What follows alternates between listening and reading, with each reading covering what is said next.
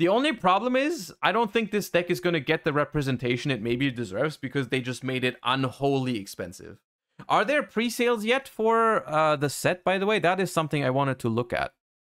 Uh, Wild Survivors, there are. Okay, hold up.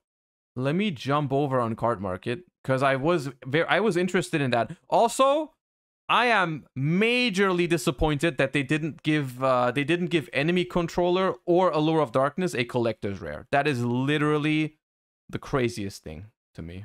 Uh, let's sort by price. It's honestly not that expensive. See, the thing is, uh, okay, Stake Your Soul is a 20 euro card.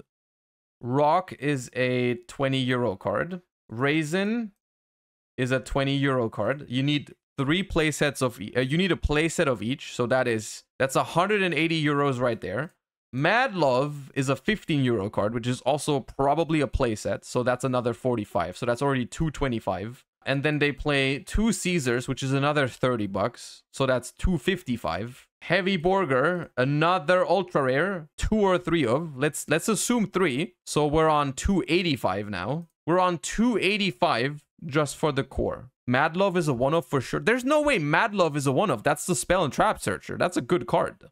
It's also a dark. I don't think it's a one of Skrelp. Maybe two, but I don't think it's a one of. I was joking for budget reasons. Oh, okay.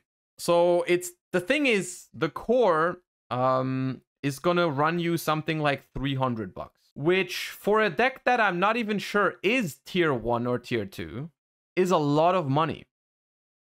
Right? Like the deck is not as good as Kashtira, not even close. When Kashtira first released, right? Or when Kashtira became top tier, Kashtira was a little bit more expensive than this, but it was also a little bit better. so yeah, I don't know. Uh, I think Vanquish Soul could be an interesting meta call if people don't know how to play against it. Uh, and it could be solid because yeah, but only really if um like if cards like Bystials, Bell, Kurikara, basically the Dark Earth and Fire hand traps, if those cards are good in this upcoming format, then this deck becomes good. The real question is how much do you want to gamble they give it a broken card? yeah, I guess you're right about that. If they if they give them a really broken card, then the deck is gonna be unholy expensive. Unironically, like as much as I hate to say this, for the Yu-Gi-Oh community, it's probably better if Vanquish Soul does not become top tier. Which is a fucked up thing to think about because it's such a cool deck. But imagine if this deck gets tier 1. Imagine how expensive it would be. And I don't want Yu-Gi-Oh to be that expensive. I think it's bullshit if Yu-Gi-Oh is that expensive. I just don't want it to happen. I don't want people to be gate kept out of Yu-Gi-Oh because the top tier deck is like a thousand bucks. But imagine if this deck actually was tier zero, right? Because, like, look at purely ultra rares. Purrely ultra rares went up to like 50 euros at some point.